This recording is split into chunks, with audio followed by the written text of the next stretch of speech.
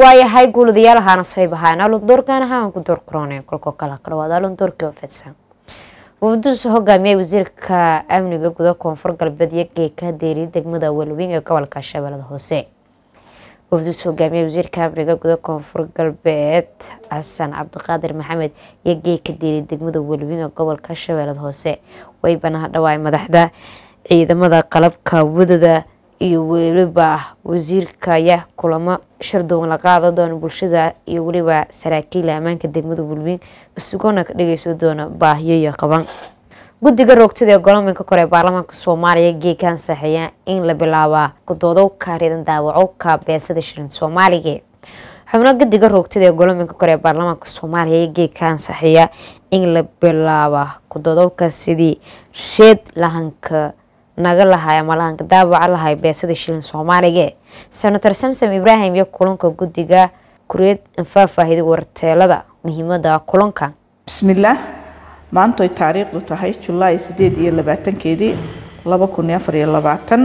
Waxaa noo qabsoomay kulankii guddiga joogtada.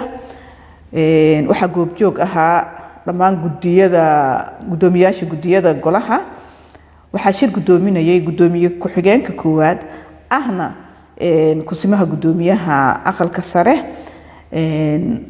waxaa kaloo goobjoog ahaa guddoomiye ku-xigeenka labaad waxaa halkaas lagu ansixiyey ilaa shan ajendo oo muhiim ah. Waxaana ugu horreeya la waqtiyeeyey inuu soo horyimaado golaha guud wasiirka arrimaha gudaha iyo hay'adaha wada shaqeynta kala dhexeyso waxaa kaloo la ansixiyey in dood laga furo shilin soomaaliga. Maxaa yeelay waa muhiim dalka in uu yeesho maadaama ay sii gabaabsi tahay lacagihii shilin soomaaliga in bal laga doodo. Waxaa kaloo la ansixiyey ajendayaal kaloo dhowr ah sida in la ansixiyo sharciga xisaabiyaasha. Waxaa kaloo ajendihii maanta la ansixiyey ka mid ahaa in la buuxiyo xubintii guddiga dib u eegista dastuurka xubintii aqalka sare oo ka banaanaa in la doorto oo bosishinkaas la soo buuxiyo xubintaas maqneed oo guddigiis la soo dhammaystiro si guddiga dib u eegista dastuurka ay hawshoodii u sii ambaqaadaan. Booliiska soomaaliya oo ku dawihii burburyo kili ku soo biyay xaafadoogii dadkii deganaya gudaha wasaaradii marayda ee umuuro guda ee soomaaliya. Xukuumadda soomaaliya oo shaacidi in xasiliyawiya ku soo baday deegaanadiisu aan kada dambeeyay ee laka xoreeyay ururka al-shabaab. Wasiirka umuro gudaha xukuumadda federaalk soomaaliya wasiir cali xoosh iyo sheegay in barnaamijka xasiliyowka iyo deersiyan degmooyin iyo deegaano laka xoreeya ururka al-shabaab hatan iyo wadansadii aan sii deersiin lahayn degmooyin kale oo cusub. Ugu horeyn waxaan bogaadinayaa ciidamada xoogga dalka soomaaliyeed oo xoreeyey deegaano badan oo ka mid a dalka oo maanta si xor ah oo nabad ah bulshadu ugu nool yihiin.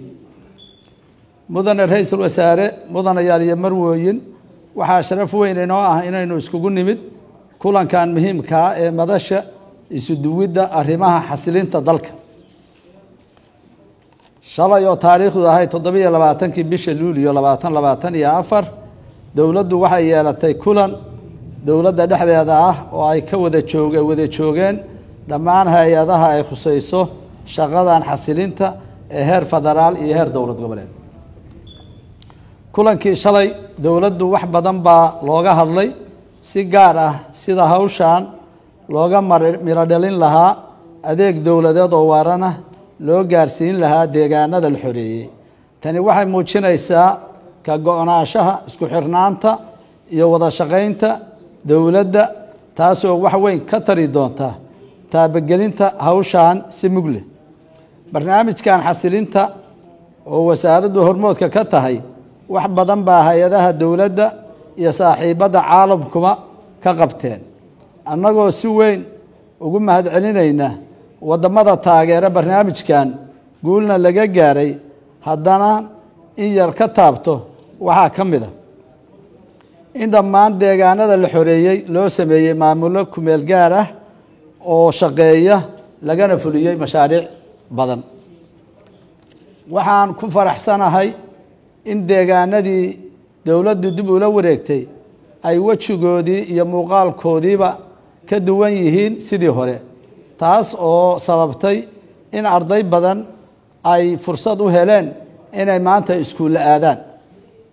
Sida xarareere iyo aadan yabaal sidoo kalena heleen adeegyo caafimaad mid amni iyo iyo biyo nadiifa waxaa xusid mudan in waxaa xusid mudan in howlgalladu sii ballaaranayaan ayna si xawli leh u fidayaan dhanka dowlad goboleedyada sida jubbaland oo kale. Anigu aniguna aan fursad u helay inaan tago buulo xaaji oo dhowaan la xoreeyey. Dhulkaas iyo kuwo la mid ahba waxay u baahan yihiin mashaariic xasilin oo baaxad leh. Waxaan rabnaa in la xoojiyo maamulada degmooyinka iyadoo la ysku xidhaayo maamulka cadaaladda amniga si hawsha u noqoto mid miro dhalah oo dhammaystiran dadkana u abuurta jawi isdhexgal si gaar ah barnaamijka darisaynta iyo guddiga nabadeynta iyo xasilinta. Waxaan xusaynaa ahmiyadda ay leeyihiin barnaamijyada xasilinta gaar ahaan barnaamijyada soo kabashada degdega ah ee e r i u k iyo nisa foundation midooda yurub oo wax badan ka taageeri jiray barnaamijka xasilinta iyo soo kabashada degdega ah sida dhismaha saldhigyada booliiska maxkamadaha degmada xafiisyada maamulka degmada dayactirka ceelasha xarumaha caafimaadka waxbarashada dhamaa oo dhammaaday una baahan in dib loo soo cusboonaysiiyo. Ugu dambeyntii waxaan u mahad celinayaa dhammaan saaxiibada beesha caalamka ee taageera barnaamijka xasilinta dalka si gaar ah waxaan rabaa inaan ugu mahad celiyo u s aid oo kaalin weyn ka qaadatay hawshan. Sida wasiirka cadaaladdu sheegay waa muhiim inay isla socdaan xasilinta iyo xoreyntu oo dhulka meeshii la xasiliyo ay tahay in qeyb weyn laga qaato oo la daboolo baahidaas si muuqaalku isu bedelo bulshaduna ay u aragto waxay shalay ku sugnayd iyo waxay maanta ku sugan yihiin. Dadaalkaas la galay waxaa ku ammaanan ciidanka xoreynta iyo inta halkan fadhida oo ay ka mid tahay beesha caalamka. Shirka waxaa si rasmiyan oo ku furaya ra'iisul wasaare ku-xigeenka saalax axmed jaamac dowladda soomaaliya waxaa ku saartay go'aanka baarlamaanka turkiga ka ansixiyeen ciidamada lahandari xeebo soomaaliya. Maxamed caskaawiyan fiiriye. Baarlamaanka dalka turkiga weliba iyo ansixin mooshinkii dhowaan uu soo horjeeyay madaxweyne erdogan kaasoon ahaa inay ciidamo badeed iyo weliba maraakiib dagaal ee turki isu leeyay lijayay xeebo soomaaliya. Waliba hadda kureed la falaya inay ciidamada iyo weliba maraakiibta iyo hadiiraan badda soomaaliya. Somalilan ayaana weliba dhowaan gaashaankii andarutay ciidamada turkiga ee ha ka wajahan xeebo geeska afrika iyadoona ka digtay inay hadhowaadaan biyo somalilan dhanjey waraaqubay wasiirka gaashaandhigga xukuumadda federaalk soomaaliya mudane cabdiqaadir maxamed nuur iyo weliba soo dhawaayay qaraarkiisu ansixiyay baarlamaanka jamhuuriyadda turkiga kaasoon la xiriirinay ciidamada badda iyo weliba turkiga liindira soomaaliya wasiirkii weliba isu ka tilmaamay niya ku dhaganta tallaabo muhiima oo la kafalahayay heshiiska iskaaladooka difaaca iyo weliba dhaqaalo ee dhexmaray soomaaliya iyo weliba turkiga. Turkiga iyo soomaaliya ma ku shaqeeyaan oo keliya xasiliyowka biyo xeebo soomaaliya. Laakiin sidoo kale weliba iyo kobyaana iskaaladoo muujiyaya sidii aan kugu honte nabadiya weliba amniga gobolka iyo weliba xoojiyowka dadaalada la kala dagaalamo orgagixisada buraadbadeeda ka ganacsada hubka sharci darada iyo weliba khataro kale yaara wasiir cabdiqaadir maxamed nuur. Maxamed caskaawi warteelka arlaaday beledka baydhabo guuladayaal waliba nolol darartana warkii habeeneed ee warteel karlaad ee akhbaaraadka banaankan oo diirahan weybaa ku mid aha ulhayka dalka ruushka oo qadari dalka mareykanka ulhayka dalka ruushka vladimir putin ayaanka degi dalka mareykanka in haddii washington iyo gantaalada radida dheer jiyose jarmalka ruushka gantaalada saano lamida isa dhika doona masaafilka weerara karo dano reer galbeedka.